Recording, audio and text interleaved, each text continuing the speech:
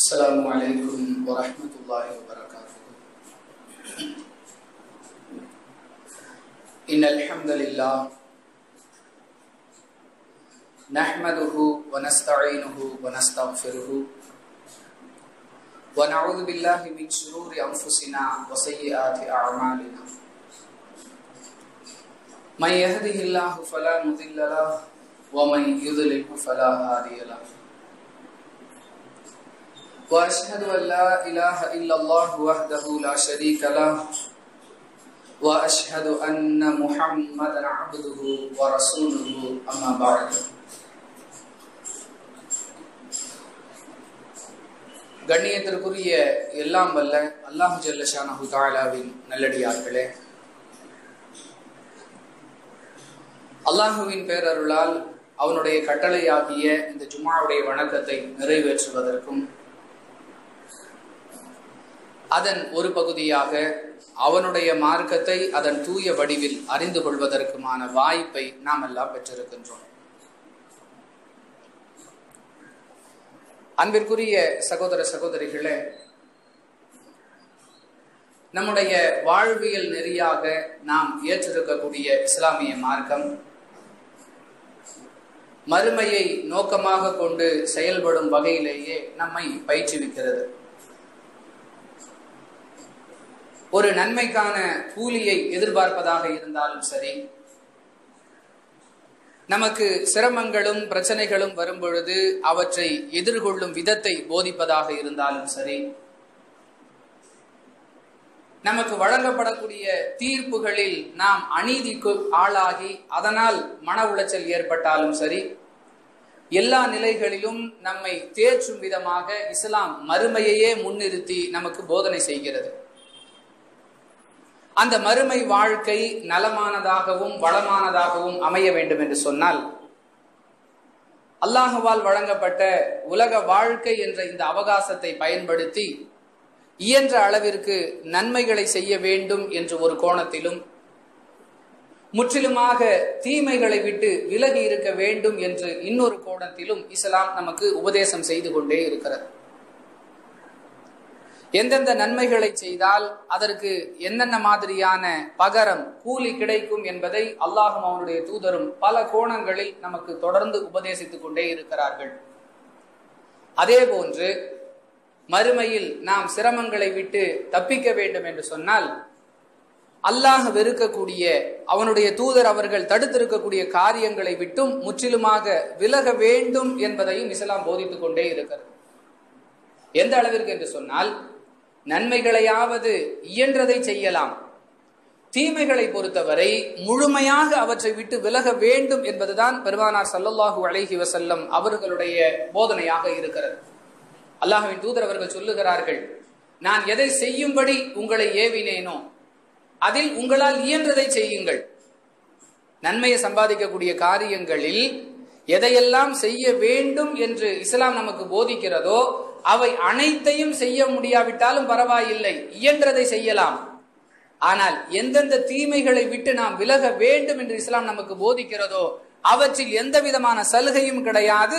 விலக வேண்டும் என்று சொல்லப்பட்ட தீமைகளை விட்டு முழுமையாக விலக வேண்டும். நன்மைக்கும் தீமைக்கும் உள்ள வித்தியாசத்தை நாம் விளங்கிக் கொள்ளணும். செய்ய வேண்டிய நன்மைகளில் குறை வைத்து விட்டோம். அது பெரிய பாதிப்பிற்குள்ளான விஷயம் அல்ல. ஆனால் செய்யக்கூடாத தீமைகளை பொறுத்தவரை எல்லா தீமையும் விட்டு விலக முடியாது. அதனால கொஞ்சம் தீமை செஞ்சுக்கலாம் அப்படிங்கிற ஒரு எக்ஸ்கியூஸ் ஒரு தளர்வு என்பது இஸ்லாத்தில் வழங்கப்படவில்லை. ஆக எந்த தீமைகளை விட்டு நாம் விலக வேண்டியது அவசியம் என்று சொல்லுகிறதோ அந்த இஸ்லாமிய மார்க்கம் அந்த தீமைகளை செய்வதால் நாம் அடையக்கூடிய நட்டத்தை பாதிப்பை தொடர்ந்து நமக்கு எச்சரிக்கை செய்யும் விதமாக சொல்லிக் கொண்டே இருக்கிறது. அவற்றுள் ஒன்றாகத்தான் திருக்குறானில் அல்லாஹ் பல இடங்களில் அவர்களுக்கு கேடுதான் என்ற வாசகத்தை பயன்படுத்துகிறான். எனவே அவர்களுக்கு கேடுதான் என்ற அந்த வாசகத்தையே தலைப்பாக தேர்வு செய்து எந்தெந்த தீமைகளை பற்றியெல்லாம் அல்லாஹ் திருக்குறானில் அந்த தீமைகளை செய்பவர்களுக்கு கேடுதான் என்று குறிப்பிடுகின்றான். அந்த தீமைகளை விட்டு விலகுவது எந்த அளவிற்கு அவசியம்? அது குறித்த அண்ணலம் பெருமகனார் ரசூலுல்லாஹி சல்லல்லாஹு அலஹி வசல்லம் அவர்களுடைய எச்சரிக்கைகள் எப்படி எப்படியெல்லாம் அமைந்திருக்கின்றன என்பதை இன்ஷா அல்லாஹ் இன்றைய ஜுமாவுடைய சிந்தனையாக நாம் பெற்றுக்கொள்ளவிருக்கிறோம். அன்பிற்குரியவர்களே பல விஷயங்களை குறித்து அல்லாஹ் அவனுடைய தூதரும் அப்படி எச்சரிக்கை செய்கிறார்கள். அதாவது அந்த செயலை செய்பவர்களுக்கு கேடுதான் என்ற வாசகத்தை கொண்டு. அதில் திருக்குறானுடைய இருபதாவது அத்தியாயம் அறுபத்தோராவது வசனத்திலே அல்லாஹ் சொல்லி காட்டுகிறான். ஒரு தீமையை சொல்லி அதை யார் செய்கிறார்களோ அவர்களுக்கு கேடுதான். அது என்ன தீமை என்று பார்க்கும் பொழுது அல்லாஹுவின் மீது யார் பொய்யை இட்டு கட்டுகிறார்களோ அவர்களுக்கு கேடு என்று அல்லாஹ் சொல்லி காட்டுகிறான். சர்வசாதாரணமாக மார்க்கத்தில் இல்லாத மார்க்கம் சொல்லாத விஷயங்களை யாரெல்லாம் மார்க்கம் என்று சொல்லுகிறார்களோ அவர்கள் அல்லாஹுவின் மீது இட்டு கட்டக்கூடிய வேலையை செய்கிறார்கள். மார்க்கம் என்பது என்ன? திருக்குறானுடைய ஏழாவது அத்தியாயம் மூன்றாவது வசனத்தில் அல்லாஹ் சொல்லி காட்டுகிறான் இத்தபிழு மா உன்சில இலைக்கும் மெர்ரப்பிக்கும் ஒலா தத்தபிழு மிந்தூனிஹி அவுலியா. உங்கள் இறைவனிடமிருந்து எது உங்களுக்கு அருளப்பட்டதோ அதை நீங்கள் பின்பற்றுங்கள். நீங்கள் பின்பற்றுவதற்கு தகுதியான விஷயங்கள் எதுவென்றால் உங்கள் இறைவன் எதை உங்களுக்கு அருளினானோ அவைகள்தான். அதை விட்டுட்டு யார் யாரையோ எது எதையோ நீங்கள் உங்களுக்குரிய பொறுப்பாளர்களாக வழிகாட்டிகளாக ஆக்கிக் கொள்வது கூடாது என்று இஸ்லாம் எச்சரித்த பிறகு பொலா தத்தபிழு மிந்தூனிஹி அவுலியா எந்த இறைவன் உங்களுடைய வாழ்வியல் வழிகாட்டியாக இருக்கிறானோ அவனை தவிர வேறு யாரையும் நீங்கள் பொறுப்பாளர்களாக தேர்ந்தெடுத்துக் கொள்ள கூடாது என்று தெளிவாக சொல்லப்பட்ட பிறகும் மார்க்கத்தில் இல்லாததை மார்க்கம் சொல்லாததை ஒருவர் மார்க்கம் என்று சொல்லுகிறார் என்றால் அந்த விஷயங்களை யார் சொன்னாரோ அவரை இவர் தன்னுடைய பொறுப்பாளராக மார்க்க வழிகாட்டியாக இறைவனுக்கு இணையானவராக ஆக்குவதன் மூலமாக இறைவன் சொல்லாததை சொல்லுவதால் இவர் இறைவன் மீது அல்லாஹின் மீது இட்டு கட்டக்கூடிய ஒரு மாபாதக செயலை செய்து கொண்டிருக்கிறார். அப்படிப்பட்ட செயலை செய்பவருக்கு கேடுதான் என்று அல்லாஹ் சொல்லி காட்டுகிறார் அன்பிற்குரியவர்களே அல்லாஹ் சொல்லாத ஒன்றை அல்லாஹுடைய மார்க்கத்தில் இல்லாத ஒன்றை ஒருவர் சொல்லுகிறார் என்றால் அதையும் அல்லாஹ் சொன்னான் என்று சொல்ல வருகிறார். அப்படி சொல்லுவதன் மூலமாகத்தான் அந்த கருத்துக்களுக்கு மக்களிடத்தில் ஒரு அங்கீகாரத்தை பெற்றுக்கொள்ள முடியும். அல்லாஹுடைய தூதர் சொல்லாத ஒன்றை அல்லாஹுடைய தூதர் சொன்னதாக ஒருவர் சொல்வதன் மூலமாகத்தான் அந்த கருத்துக்கு மக்களிடத்தில் ஒரு அங்கீகாரத்தை பெற முடியும். அல்லாஹுடைய தூதருடைய வார்த்தைகளும் அல்லாஹுடைய வார்த்தைகள் என்பதுதான் இஸ்லாமிய நம்பிக்கை. குரானிலே அல்லாஹ் சொல்லி காட்டுகிறான். ஒமா எந்திகு அனில் ஹவா இன்ஹுவ இல்லா வஹ்யின் யூஹா. இந்த முஹம்மத் தன்னுடைய மனோ இச்சைப்படி எதையும் பேசுவதில்லை.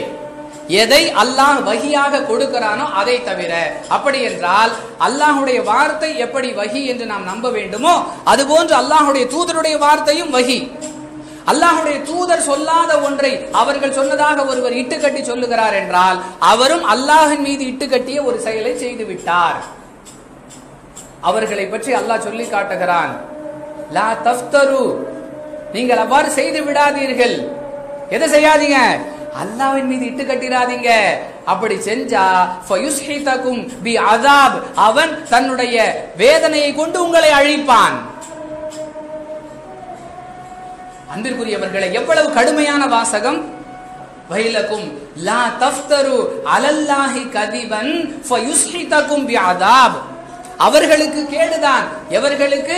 எவர்கள் அல்லாஹின் மீது இட்டு கட்டுகிறார்களோ அவர்களுக்கு கேடுதான். அந்த செயலின் மூலமாக அவர்களை அல்லாஹ் தன் வேதனையை கொண்டு அழைப்பான் என்று இருபதாவது அத்தியாயம் அறுபத்தி ஓராவது வசனத்திலே சொல்லி காட்டுகிறார்.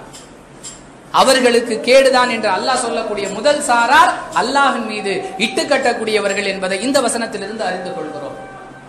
அடுத்ததாக அன்பிற்குரியவர்களே அல்லாஹுவை பற்றி பொய்யாக வர்ணனை செய்யக்கூடியவர்கள். அல்லாஹுக்கு குழந்தைகள் இருக்கின்றன. அன்பிற்குரியவர்களே இது வர்ணனையா? பேருக்கு அல்லாவை பற்றி வர்ணிப்பது போன்று இருக்கிறது ஆனால் பொய்யான வர்ணனை. பல இடங்களிலே பார்க்கிறோம். பல கடவுள் கொள்கைகளை பின்பற்றக்கூடியவர்களை பார்க்கிறோம். கடவுளை பற்றி அவர்கள் வர்ணிக்கிறார்கள். எப்படிப்பட்ட வர்ணனை? தவறான வர்ணனை. கடவுளுக்கும் தீய சக்திகளுக்கும் யுத்தம் ஏற்பட்டது. அதிலே இறைவனுடைய கை கட்டப்பட்டு விட்டது அல்லது குறிப்பிட்ட ஒரு விழா காலங்களில் இறைவனுக்கு காப்பு கட்ட வேண்டும் அல்லது இறைவனுடைய கண்கள் மூடப்பட்டிருக்கின்றன இறை தன்மைக்கு களங்கம் கற்பிக்கக்கூடிய வார்த்தைகளை கொண்டு இறைவன் மீது வர்ணனை செய்யக்கூடிய ஒரு அவலத்தை பார்த்து கொண்டிருக்கிறோம். வேற்று கொள்கை பேசக்கூடிய மக்களை விட்டு விடுவோம். யாரெல்லாம் தங்களை இஸ்லாமியர்கள் என்று சொல்லிக் கொண்டிருக்கிறார்களோ தெளிவாக சொல்லுவதாக இருந்தால் இலங்கையைச் சேர்ந்த ஒரு மார்க்க அறிஞர் பகிரங்கமாக பொது மேடைகளிலே பேசுகிறார். அல்லாஹுடைய கைகளில் அழகிய காப்புகள் அணியப்பட்டிருக்கு அணிவிக்கப்பட்டிருக்கின்றன. அல்லாஹுடைய கால்களில் தண்டை அணிவிக்கப்பட்டிருக்கிறது. பொது மேடைகளில் மார்க்க சொற்பொழிவு என்ற பெயரால்.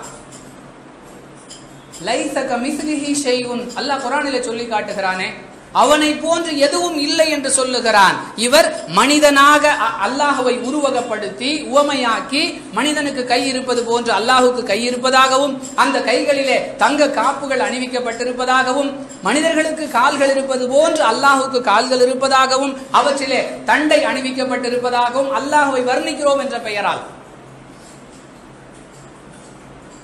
அல்லாஹ் சொல்லி காட்டுகிறான் வலக்குமுல் வயலு மிம்மா தசிஃபூன்.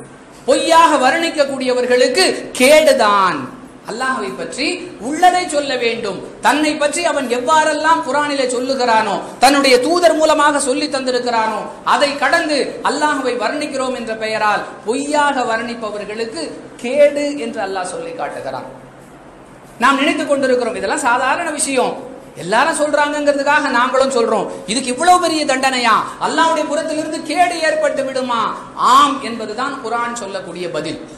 அல்லாஹுவை பற்றி பேசக்கூடிய நேரங்களில் அவன் தன்னை எவ்வாறெல்லாம் அறிமுகப்படுத்தினானோ அவற்றை கடந்து எதையும் வர்ணித்து விடக் கூடாது என்பதை இருபத்தி ஓராவது அத்தியாயம் பதினெட்டாவது வசனம் நமக்கு எச்சரிக்கை செய்கிறது. அவ்வாறு செய்பவர்களுக்கு கேடுதான் என்று அல்லாஹ் சொல்லக்கூடிய வாசகத்தை கொண்டு அந்த வசனம் நம்மை எச்சரிக்கை செய்கிறது. அன்பிற்குரியவர்களை யோசித்திருப்போமா? இதெல்லாம் ஒரு குற்றமா? அல்லா மேல உள்ள பிரியத்துல ஏதோ கொஞ்சம் கூடுதல் குறைவா சொல்றது ஒரு பாவமா? பாவம் என்பதுதான் இஸ்லாமிய பார்வை. அன்பிற்குரியவர்களே அடுத்ததாக திருக்குறானை கொண்டு நாம் பார்க்கும் பொழுது பலர் பல விதங்களை கொண்டு மகிழ்ச்சி அடைவார்கள். சிலருக்கு இசையை கேட்பதால் மகிழ்ச்சி. இன்னும் சிலருக்கு இயற்கை காட்சிகளை ரசிப்பதால் மகிழ்ச்சி. இன்னும் சிலருக்கு மக்களோடு கூடி பேசிக் கொண்டிருப்பதால் மகிழ்ச்சி. இப்படி ஒவ்வொருவர் ஒவ்வொன்றின் பக்கமாக தன்னுடைய மனதை லைக்க வைத்து பறிகொடுத்து அதன் மூலமாக நிம்மதி அடையக்கூடியவர்களாக அமைதி பெறக்கூடியவர்களாக இருக்கக்கூடிய ஒரு நடைமுறையை பார்த்து கொண்டிருக்கிறோம். ஆனால் திருக்குறான் சொல்லி காட்டுகிறது பதிமூன்றாவது அத்தியாயம் இருபத்தி எட்டாவது வசனத்தில் அல்லாஹ் பேசுகிறான் அலாபி பிதிக்ரில்லாஹி தத்மயின்னுல் குலூப். அல்லாஹுவை நினைப்பதை கொண்டே உள்ளங்கள் அமைதி பெறுகின்றன. உங்களுடைய உள்ளத்திற்கு அமைதி தேவையா? நிம்மதி தேவையா? இசையால் கிடைக்காது மதுவால் கிடைக்காது மாதுவால் கிடைக்காது நண்பர்களால் கிடைக்காது வேறு பழக்கங்களால் கிடைக்காது. ஒரே ஒரு தீர்வு உள்ளத்தை அமைதிப்படுத்துவதற்கு உள்ளத்திற்கு நிம்மதி கிடைப்பதற்கு. விதிக்கிறில்லா. அல்லாஹுடைய நினைவை கொண்டுதான் உங்கள் உள்ளங்கள் அமைதி பெறும். இன்னும் அல்லாஹ் சொல்லி காட்டுகிறான். அறுபத்தி இரண்டாவது அத்தியாயம் பத்தாவது வசனத்துல ஒதுக்குருல்லாஹ கசீரல்ல அல்லக்கும் துஃப்லிஹூன். அல்லாஹுவை அதிகமாக நினையுங்கள். அதை கொண்டு நீங்கள் வெற்றி பெறுவீர்கள். எதில் வெற்றி இருக்கிறது என்று அல்லாஹ் சொல்லுகிறானோ எதை கொண்டு அமைதி கிடைக்கும் என்று அல்லாஹ் சொல்லுகிறானோ அதை விட்டுவிட்டால் ஏற்படக்கூடிய நிலை என்ன என்பதை முப்பத்தி ஒன்பதாவது அத்தியாயம் இருபத்தி இரண்டாவது வசனத்தில் அல்லாஹ் சொல்லி காட்டுகிறான்.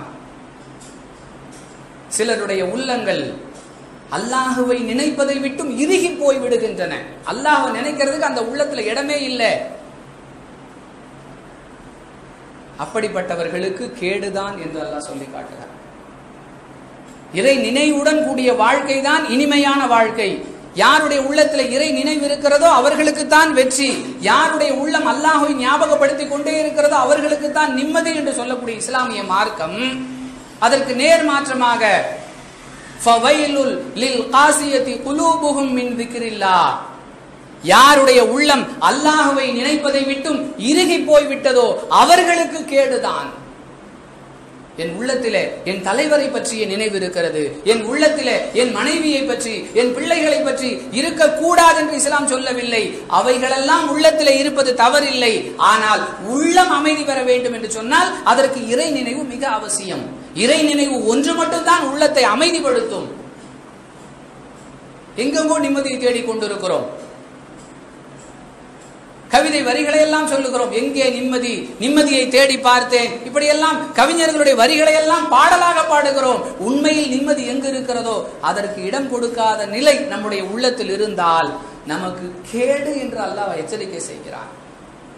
அல்லாஹுடைய கேட்டை விட்டும் அல்லாஹுடைய சாபத்தை விட்டும் நாம் பாதுகாப்பு பெற வேண்டும் என்றால் அல்லாஹுடைய நினைவை உள்ளத்தில் ஏந்தியவர்களாக நம்முடைய வாழ்க்கை கழிய வேண்டும். அல்லாஹுடைய தூதர் எதுக்கு இந்த துவாவை கற்றுக் கொடுக்கணும்?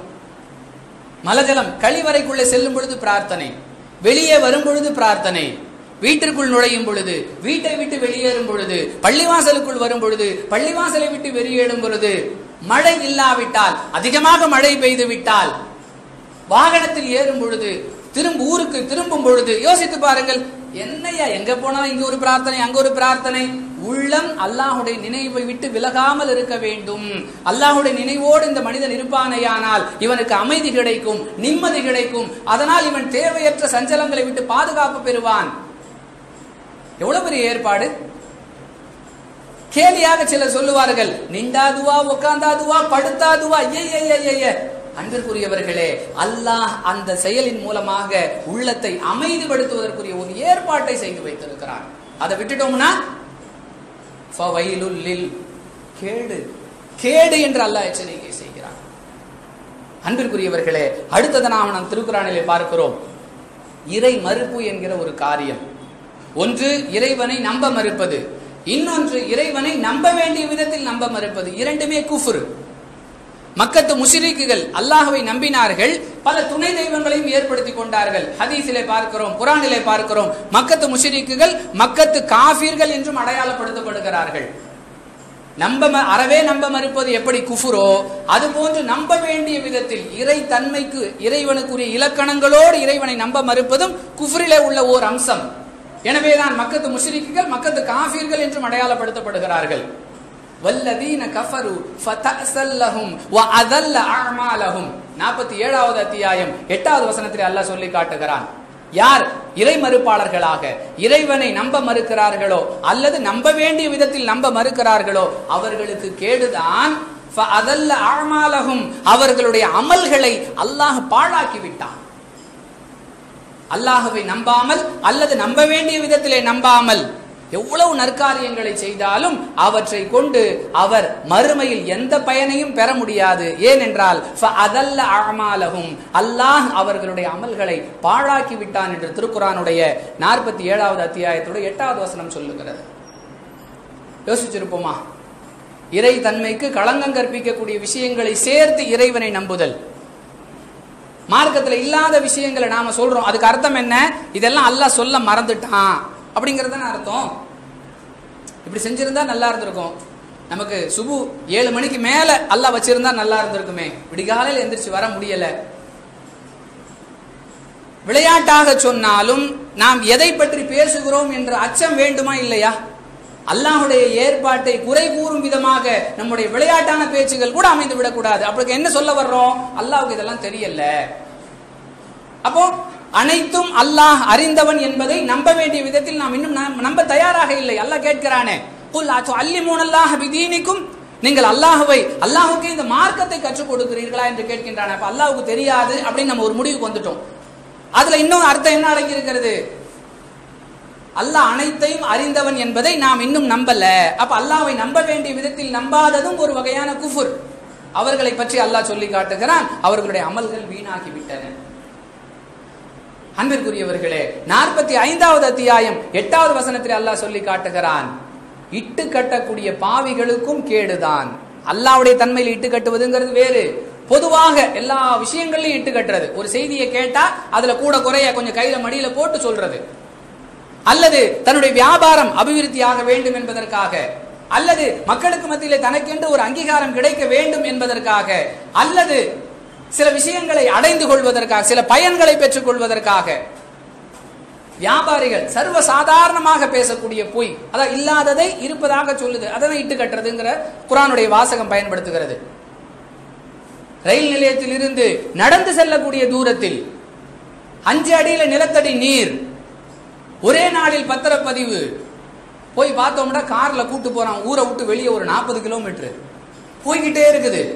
எங்க இருந்தா வந்துடும் மக்களுக்கு மத்தியில ஒரு விதமான போதையை உண்டாக்கி எப்படியாவது இந்த இடத்தை அவங்க தலையில கட்டிடணும். மூன்றில் ஒரு பகுதி பணம் கொடுத்துருங்க. மீதத்தை கொஞ்சம் கொஞ்சமா நீங்களா கொடுக்கலாம் நாங்க புடுங்கிடுவோம் விளம்பரம் எப்படி? பள்ளிகள் கல்லூரிகள் கோயில்கள் ரயில் நிலையம் பேருந்து நிலையம் மருத்துவமனை நீதிமன்றம். நீதிமன்றத்துக்கு அருகில வீடுனா டெய்லி கோர்ட்டும் கேஸும் அலையறதுக்கா? இப்படியெல்லாம் மிகைப்படுத்தி இட்டுக்கட்டி மார்க்கத்துல எங்க அனுமதி? இல்லாததை சொல்வதற்கு எங்கு அனுமதி இருக்கிறது? இரண்டு பேருக்கு மத்தியிலே சமரசம் செய்து வைப்பதற்கு. நியாயமான காரணங்களை முன்வைத்து இஸ்லாத்தில் இல்லாததை இருப்பது போன்று சொல்வதற்கு அனுமதி இருக்கிறதே தவிர மற்றபடி இட்டுக்கட்டுதல் என்பது ஒரு பாவியின் செயல். அதோடு மட்டுமில்ல அல்லாஹ் சொல்லி காட்டுகிறானே கஃபா அஃபாத்தின் அசீம். இப்படி செய்யக்கூடிய இந்த பாவிகள் இருக்கிறார்களே இல்லாததை இட்டு கட்டக்கூடிய பாவிகள் இருக்கிறார்களே அவர்களுக்கு கேடுதான் என்று திருக்குறானுடைய நாற்பத்தி ஐந்தாவது அத்தியாயம். எட்டாவது வசனம் ஏழாவது வசனம் சொல்லி காட்டுகிறது. இன்னும் அன்பிற்குரியவர்களே நாம் இஸ்லாம் என்ற கொள்கையை ஏற்று நம்முடைய வாழ்க்கையை நடத்தி கொண்டிருக்கிறோம். நாம் செய்யக்கூடிய நன்மைகளுக்கு உலகில் கூலி கிடைக்கவில்லை என்றாலும் மறுமையிலே கூலி கிடைக்கும் என்று நம்புகிறோம். நமக்கு ஏற்படக்கூடிய சிரமங்களுக்கு போதிய பிரதிபலன் கிடைக்கவில்லை என்றாலும் மறுமையிலே அதை நாம் அடைந்து கொள்ளலாம் என்று நம்புகிறோம். ஏனென்றால் அங்கே ஒரு நாள் இருக்கிறது. அந்த நாளிலே நியாயமான தீர்ப்பு வழங்கப்படும் என்று நம்புகிறோம். அந்த நாள் தொடர்பாக அதற்கு முன் ஏற்படக்கூடிய நிகழ்வுகள் தொடர்பாக குரானிலும் ஹதீஸிலும் பல விஷயங்கள் சொல்லி காட்டப்படுகின்றன. வியப்பான விஷயங்கள். வானம் சுழலும் மலைகள் எல்லாம் இடம்பெயரும் மலைகள் பஞ்சு பஞ்சாக்கப்படும். இப்படியெல்லாம் மனித அறிவு யோசித்து பார்க்க முடியாத அளவிற்கு வியப்பான விஷயங்களை எல்லாம் குரான் சொல்லி காட்டுகிறது ஹதீசுகளில் பார்க்கிறோம். ஒருவன் இவற்றை எல்லாம் நம்ப மறுக்கிறான் என்று சொன்னால் அவனை பற்றி அல்லாஹ் சொல்லி காட்டுகிறான். லில் ஃபவைலுன் லில் அந்த நாளை எவன் மறுக்கிறானோ அவனுக்கு கேடுதான். அந்த நாளை நம்பினால்தான் இவன் இஸ்லாம்ங்கிற வட்டத்துக்குள்ள வருவான். அந்த நாட்களை அது தொடர்பாக ஏற்படக்கூடிய வியப்பான நிகழ்வுகளை ஒருவன் நம்பவில்லை என்றால் அவன் இஸ்லாமிய வட்டத்திற்குள் வரவில்லை என்பது மட்டுமல்ல அவனுக்கு கேடு உண்டாகும் என்று அல்லாஹ் எச்சரிக்கை செய்வதை ஐம்பத்தி இரண்டாவது அத்தியாயம் பத்து மற்றும் பதினோராவது வசனங்களிலே பார்க்கிறோம். நம்ம என்ன நினைச்சிருப்போம்? இதெல்லாம் சாதாரணமான விஷயங்கள் நினைச்சிருப்போம். ஆனால் அல்லாவுடைய பார்வையிலே இவை கேடு தரக்கூடிய விஷயங்கள் என்று குரான் சொல்லுகிறது. அன்பிற்குரியவர்களே இன்னும் குறைந்த செலவில் அதிக பயன் ஏற்பட வேண்டும். குறைந்த முயற்சியில் அதிக லாபம் கிடைக்க வேண்டும். குறைந்த முதலீட்டில் அதிக லாபம் ஏற்பட வேண்டும். ஊழியர் நினைக்கின்றார் குறைவாக உழைக்க வேண்டும் அதிகமான கூலி வாங்க வேண்டும். முதலாளி நினைக்கின்றார் குறைவாக கூலி கொடுக்க வேண்டும் அதிகமான உழைப்பை வேலைக்காரனிடமிருந்து பெற்றுக்கொள்ள வேண்டும். மனித மனோநிலை.